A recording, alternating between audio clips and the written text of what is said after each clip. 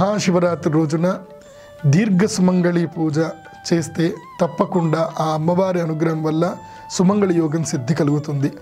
ఈ దీర్ఘ సుమంగళి పూజ పూర్తిగా ఉచితము.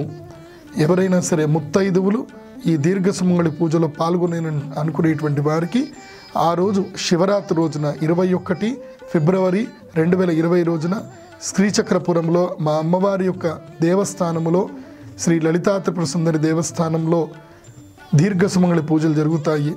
ఉదయము శివ కళ్యాణం జరుగుతుంది. ఈ మహాశివరాత్రి రోజున ఉదయం నుంచి రాత్రి వరకు మహాద్భుతమైనటువంటి కార్యక్రమాలు జరుగుతాయి. కాబట్టి ఈ కార్యక్రమంలో పాల్గొనడానికి ముత్తైదువులందరూ కూడా తమ యొక్క బంధుగణంతో తమ యొక్క బ- పిల్లలతో అందరితో కలిసి ఈ యొక్క కార్యక్రమంలో పాల్గొనండి. అమ్మవారి అనుగ్రహాన్ని పొందండి. సర్వే జన సుఖిన భవంతు. శ్రీమాత్రే నమ.